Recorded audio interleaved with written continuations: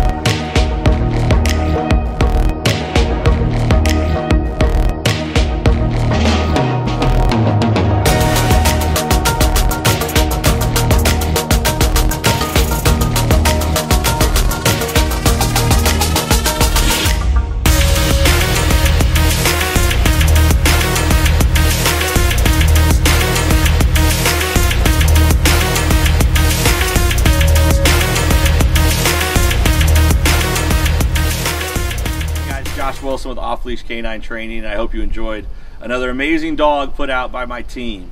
Uh, across the country, we don't care about the breed, the size, the age, or the behavioral issue. We're going to make them awesome for you. If you're interested in seeing more videos like the one you just saw, click the image here on the screen. Also, I'd encourage you to check us out on Instagram and Facebook. And before you leave our channel, make sure you subscribe. So every time a new video comes up of another outstanding dog doing some crazy, amazing things, you're going to get notified in your email address. And for more information on other locations we have around the country, check us out at joshwilson.dog. Appreciate you so much for watching our channel. See you soon.